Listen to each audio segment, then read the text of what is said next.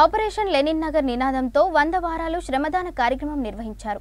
సిద్దిపేట జిల్లా కోమరవెల్లి మండలంలోని లెనిన్ నగర్ గ్రామ సర్పంచ్ సబిత ఆధ్వర్యంలో తడి పొడి చెత్త బుట్టల పంపిణీ కార్యక్రమం నిర్వహించారు. కార్యక్రమానికి ఉస్నాబాద్ ఏసీపీ మహేందర్ హాజరై బుట్టలను అందజేశారు. ఈ సందర్భంగా ఏసీపీ మహేందర్ మాట్లాడుతూ ప్రతి ఒక్కరూ లెనిన్ నగర్ గ్రామాన్ని ఆదర్శంగా తీసుకోవాలని సూచించారు. శ్రమదానం నిర్వహించి గ్రామాన్ని పరిశుభ్రంగా ఉంచుకోవాలని తెలిపారు.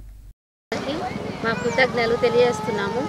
ఏమనగా మేము ప్రతి ఒక్క దానికి వాళ్ళకు సహార సహకారం చేయాలని అనుకుంటున్నాము. ప్రతి ఒక్క పనికి వాళ్ళు ఏ దానికైతే ముందడుగు వేస్తున్నారో దానికి ప్రతి ఒక్క దానికి కాదనకుండా మేము అన్ని రకాలుగా వాళ్ళ విషయంలో కానీ ఊరు విషయంలో కానీ ప్రతి ఒక్క దానికి పాల్గొంటామని హామీ ఇస్తున్నాను.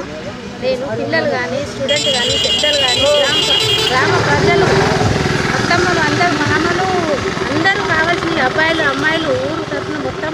నా యొక్క ధన్యవాదాలు కృతజ్ఞతలు తెలియజేస్తున్నాను. రాకంబాబు గారికి కూడా నా ఉదయపూర్తంగా ధన్యవాదాలు తెలియజేస్తున్నాను ఎందుకంటే చెత్త బుట్టలు తడి తడి బుట్ట చెత్త బుట్ట రెండు బుట్టలు ఇచ్చిండు కాబట్టి తడి చెత్త పొడి చెత్త ఆయనకు కూడా నా యొక్క నమస్కారాలు. చిన్న అబ్బాయి అయినా కానీ చాలా ఊరుకు సహకారం చేసిండు. చాలా థ్యాంక్స్ రాకంబాబు గారికి.